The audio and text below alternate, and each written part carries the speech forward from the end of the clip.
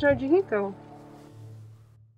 Tenho duas filhas, uma de dois e uma de cinco. É porque assim, eu estava passando, passando, que eu, eu ando pela região catando latinha, né? E aí eu estava passando pela região e eu vi. Aí eu vim ver como é que funcionava, porque eu também não tenho, como eu não tenho para onde ir, eu moro de favor na casa da minha sogra, porque estou em processo de separação com meu marido também, né? Aí fica complicado. E a gente já está se separando. Para mim pegar e continuar na mesma casa que ele, aí não vai dar certo, né? Aí eu fiquei sabendo daqui e eu vim para cá.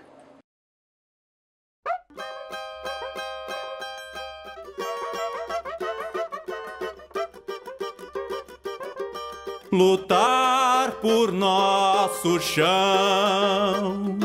Apesar de toda a repressão,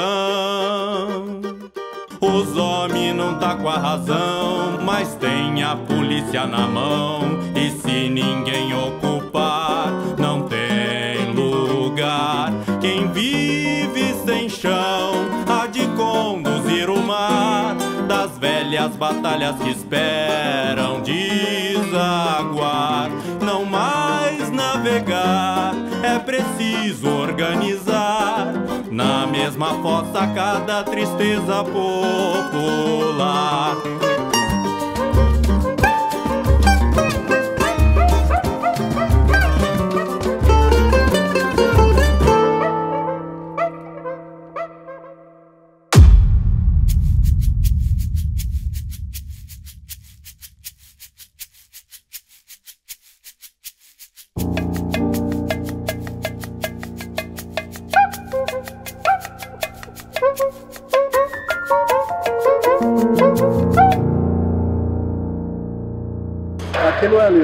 Só tem toda essa, essa conquista por causa que a gente se organizou o tempo inteiro.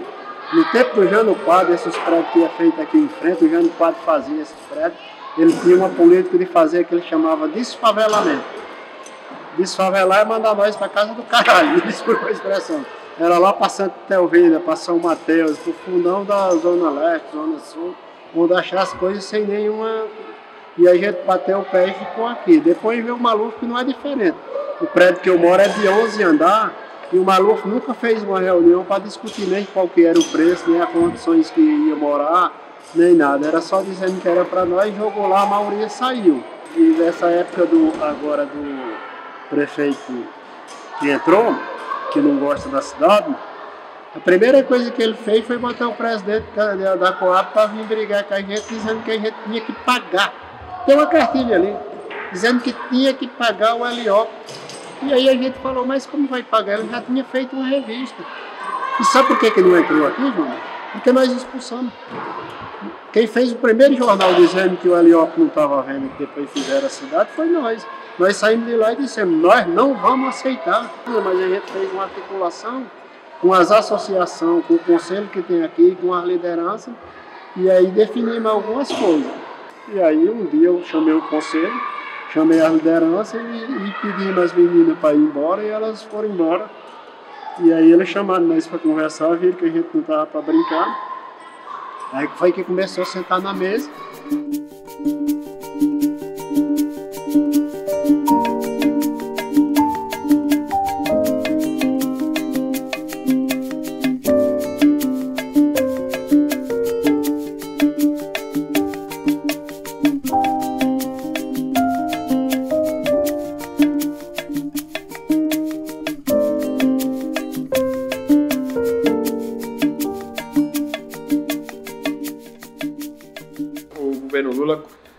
Criou no dia 23 de março de 2009 um programa chamado Minha Casa Minha Vida. O objetivo do programa, no primeiro momento, era construir um milhão de casas populares, com 400 mil para a população de até 3 salários mínimos, 400 para renda de até 6 salários mínimos e 200 para renda de 6 a 10 salários mínimos.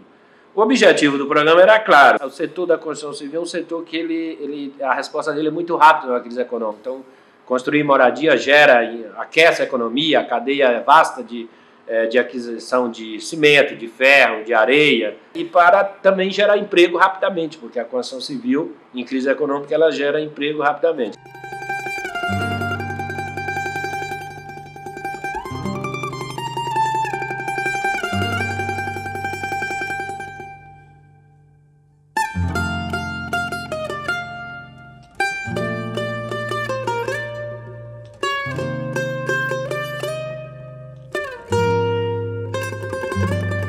Conceito de déficit e de nova casa é um conceito que os empresários gostam muito, porque é isso que vai abrir os cofres, é isso que vai levar a especulação com a terra. Mas se você olhar a cidade construída pelos trabalhadores, nós temos muita coisa para fazer ali. Não é só o déficit e quantas casas nós vamos fazer. Que é esse. Muitos movimentos têm esse discurso, mas o empresariado, sem dúvida, tem esse discurso. E a mídia também. Qual é o déficit? Se você olhar o déficit, déficit, por exemplo, a maior parte dele é ônus com aluguel. E se eu fizer uma política para, aluguel, para alocação social? E se eu fizer uma política para alocação, de um modo geral? Nós precisamos tornar essa discussão mais complexa. Porque o conceito de déficit e de que tem que construir casa nova rápido a qualquer custo vai nos levar tanto ao que aconteceu com o sistema financeiro de habitação, BNH, quanto o que aconteceu com Minha Casa Minha.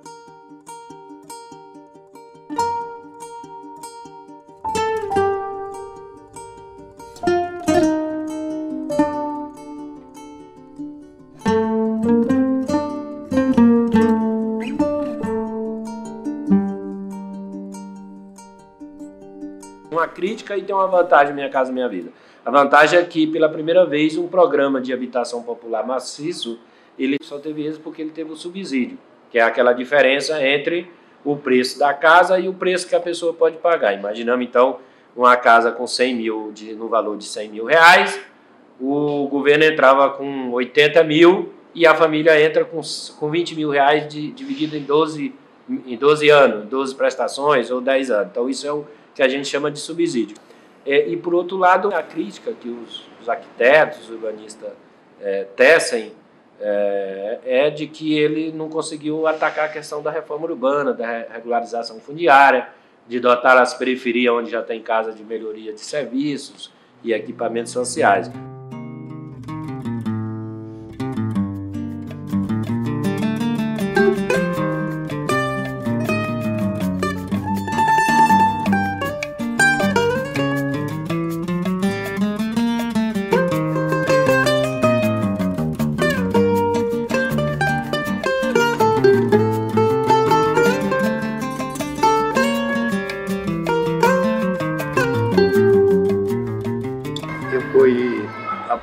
Aqui na sorteado nos prédios da, da Concolândia ali, não pude ficar porque não tinha renda.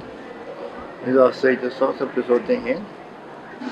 Se a pessoa mora em, é, em ocupação, como é que vai pagar?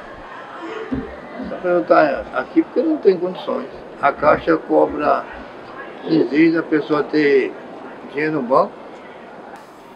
Como é que mora em movimento sem teto, já está aqui no socorro? vai ter dinheiro para estar tá mantendo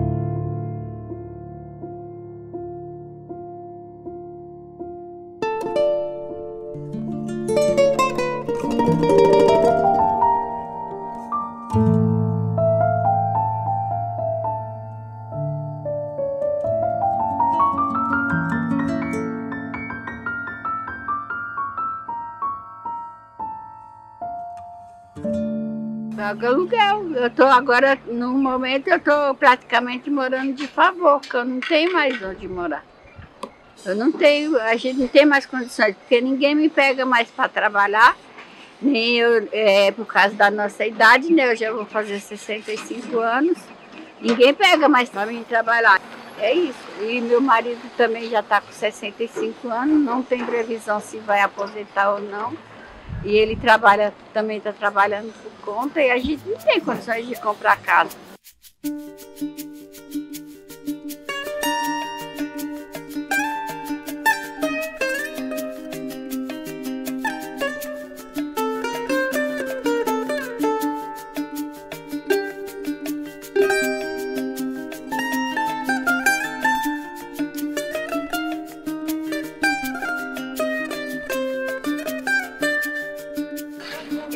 Eu, sou costureira, eu ganho R$ 1.500 por mês, então eu não, não tenho condições de ir na casa financiar um apartamento, uma casa. Lutar é plantar sem ver, brotar na incerteza se vai vingar.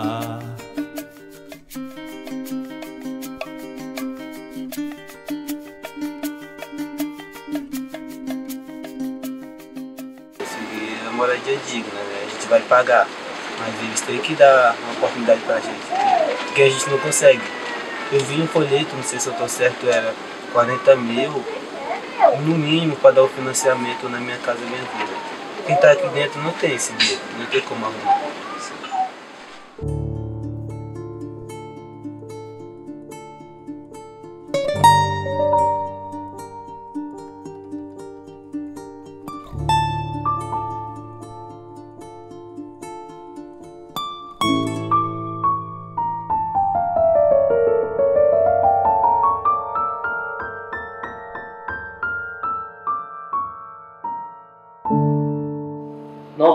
Cento dos recursos do Minha Casa Minha Vida é para as construtoras. O programa ele foi pensado para as construtoras. Ele foi lançado e discutido com as construtoras, não com os movimentos. Aí só teve essa partezinha porque os movimentos reivindicaram. Ó, queremos também. Estamos aqui produzindo por autogestão e queremos também.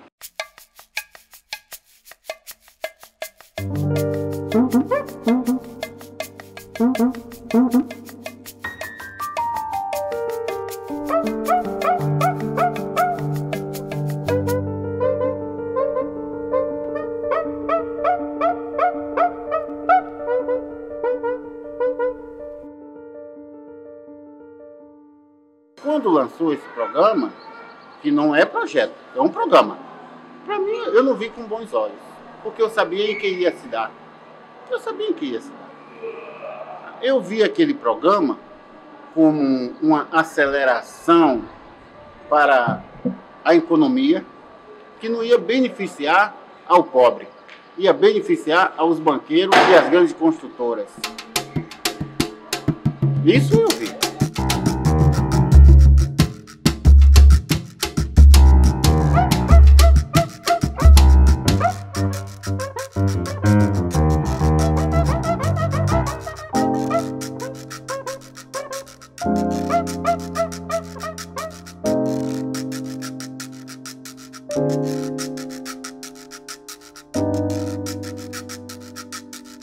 Eu acho que o fato de eh, termos pela primeira vez na história definido que as políticas de habitação necessitam de subsídios orçamentários, de gasto orçamentário, ou seja, desvinculando essa ideia simplesmente da ideia de financiamento com retorno, foi uma contribuição muito importante do governo Lula, embora o modelo através da qual essa política de investimentos orçamentários acabou se configurando, que é o programa Minha Casa Minha Vida, acho que tem, padece de outros problemas, mas a ideia de que é absolutamente necessário um gasto público, do orçamento público, para garantir o acesso à habitação, me parece que é uma ideia muito importante, muito potente, que foi trazida durante esse período.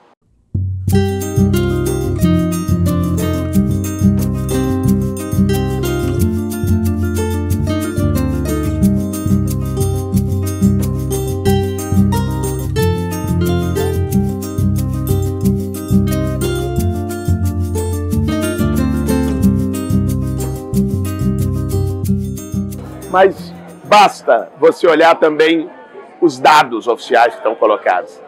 Sabe, o último período, através do programa Minha Casa Minha Vida, que é um programa que tem o mérito de ter tido muito investimento público para moradia, mas tem problemas também. É um programa é, que deu muito peso às construtoras, o local da construção das moradias não é, não é o melhor, em geral é em regiões mais distantes, né? a qualidade é muito questionável. Mas programa Minha Casa Minha Vida, o fato é que construiu 2 milhões de casas no Brasil, que nos fazia muito tempo. Mas o que nós vimos é que mesmo com 2 milhões de casas construídas, o número de sem-teto não diminuía. Continuava um número altíssimo de sem-teto nas cidades. Em alguns lugares até aumentou.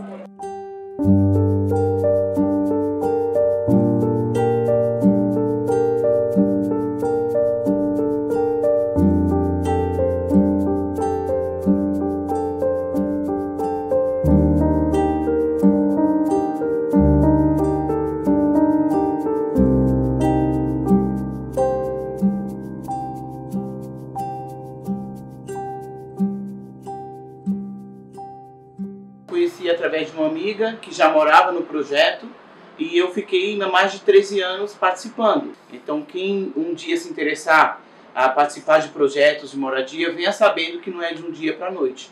Chama-se luta. Pedreiros, marceneiros, diaristas, balconistas, empregados, serventes por todos os lados, tudo construído ao seu redor, é suor do operário, é o ardor do lavrador.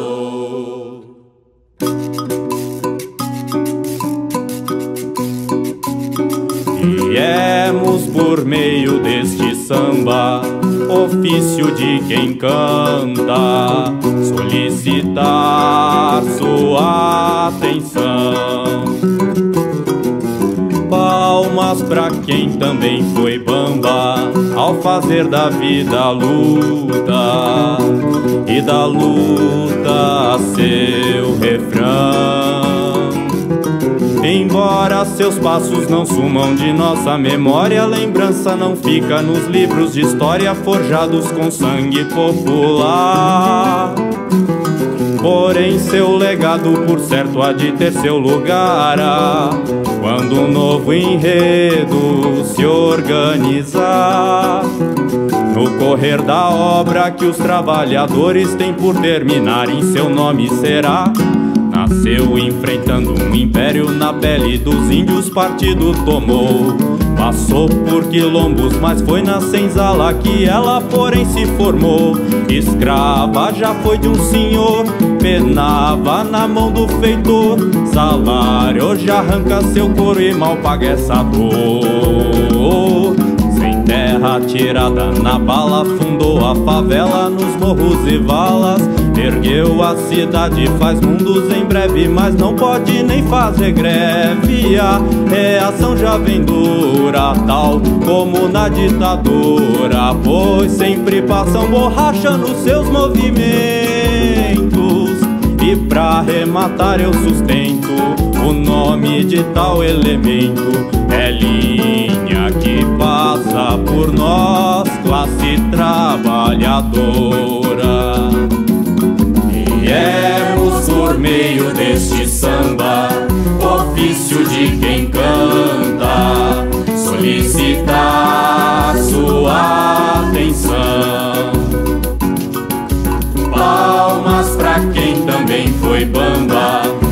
fazer da vida luta e da luta seu refrão.